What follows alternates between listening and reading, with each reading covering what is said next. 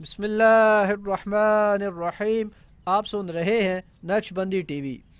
حضرت ابن عباس رضی اللہ عنہ فرماتے ہیں کہ شام میں ایک یہودی رہتا تھا، وہ ہفتہ کے دن تورات کی تلاوت کیا کرتا، ایک دفعہ تورات کھولی تو اس میں چار مقام پر حضور صلی اللہ علیہ وسلم کی تعریف و توصیف دیکھی۔ یہودی نے وہ جگہ کاٹ کر جلا دی، اگلے ہفتہ پھر تورات کھولی تو آٹھ جگہوں پر حضور صلی اللہ علیہ وسلم کی نعت اور وصف کا ذکر پایا۔ اس نے یہاں سے بھی کاٹ کر جلا دیا۔ تیسرے ہفتے تورات کھولی تو یہی تذکرہ بار، بارہ جگہ موجود پایا۔ یہودی سوچنے لگا کہ اگر میں یوں ہی کرتا رہا تو ساری کی ساری تورات اس تذکرہ سے پر ہو جائے گی۔ اپنے ساتھیوں سے پوچھنے لگا کہ محمد کون ہے؟ انہوں نے جواب دیا کہ ایک جھوٹا شخص ہے۔ معاذ اللہ۔ بہتر یہی ہے کہ تو اسے دیکھے، نہ وہ تجھے دیکھے۔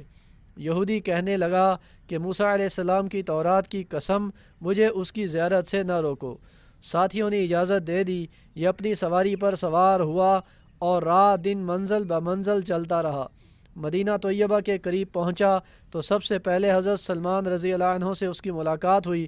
بہت خوبصورت دیکھ کر سمجھا کہ محمد صلی اللہ علیہ وسلم یہی ہیں۔ حالانکہ آپ کو اس دنیا سے سفر کیے ہوئے تین دن ہو چکے تھے۔ حضرت سلمان رضی اللہ عنہ اس کی بات سے رو دیے اور کہا کہ میں ان کا خادم اور غلام ہوں۔ وہ بولا، پھر آپ کہاں ہیں؟ اب سلمان رضی اللہ عنہ سوچنے لگے کہ اگر وصال کی خبر سناتا ہوں تو یہ واپس ہو جائے گا اور اگر یہ کہہ دوں کہ موجود ہیں تو جھوٹ ہوگا۔ بلاخر کہنے لگے، میں تجھے حضور صلی اللہ علیہ وسلم کے صحابہ کے پاس لے چلتا ہوں۔ مسجد میں آئے تو صحابہ رضی اللہ عنہ مجمعین سب کے سب غم کی تصویر بنے ہوئے تھے۔ یہودی یہ سمجھ کر کہ حضور صلی اللہ علیہ وسلم ان میں موجود ہوں گے۔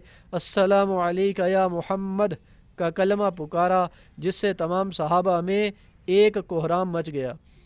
اور سب آہو بکا کرنے لگے اور اس سے پوچھنے لگے کہ تو کون ہے؟ جس نے ہمارا زخم تازہ کر دیا، کوئی اجنبی شخص معلوم ہوتا ہے؟ شاید تجھے یہ معلوم نہیں کہ حضور صلی اللہ علیہ وسلم کا تین روز پہلے وصال ہو چکا۔ یہ سن کر وہ یہودی چیخنے لگا، ہائے میرا غم، ہائے میرے سفر کی ناکامی۔ اے کاش، میری ماں مجھے نہ جنتی اور جن ہی دیا تھا تو کاش میں تورات نہ پڑھتا اور وہ بھی پڑھی تھی تو کاش آپ کی تعریف و توصیف پر نظر نہ پڑتی اور اگر یہ بھی ہو گیا تھا تو مجھے آپ کی زیارت ہی نصیب ہو جاتی۔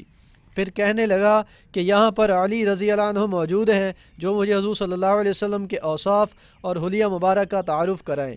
حضرت علی رضی اللہ عنہ آگے بڑھے اور فرمایا، میرا نام علی ہے۔ وہ بولا، میں نے تیرا نام بھی تورات میں دیکھا ہے۔ حضرت علی رضی اللہ عنہ نے حلیہ مبارک پڑھنا شروع کیا کہ آپ نہ حد سے زیادہ لمبے اور نہ ہی زیادہ چھوٹے تھے، سر مبارک گولائی پر تھا اور پیشانی کو شادہ آنکھوں کی سیاہی خوب سیاہ تھی، پلکیں دراز تھیں، ہنسی کے وقت دانتوں سے نورانی شعا نکلتی تھی، سینہ سے ناف تک بالوں کی لکیر تھی۔ قدموں کے تلوے قدرے گہرے تھے، بدن کے جوڑوں کی ہڈیاں موٹی تھیں، مثلاً کوہنیاں اور گھٹنے۔